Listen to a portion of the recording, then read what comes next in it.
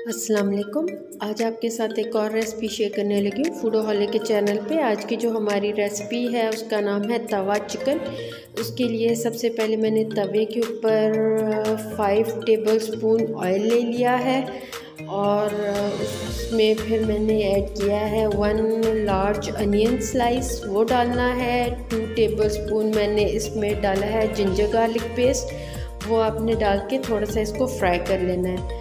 ये जब थोड़ा सा फ्राई हो जाएगा तो फिर मैंने इसमें ऐड किए हैं थ्री टमेटोज़ चॉप करके वो डाले हैं और साथ ही मैंने इसमें डाला है one and half cup boil chicken था मेरा, उसको मैंने श्रेड करके वो ऐड किया है।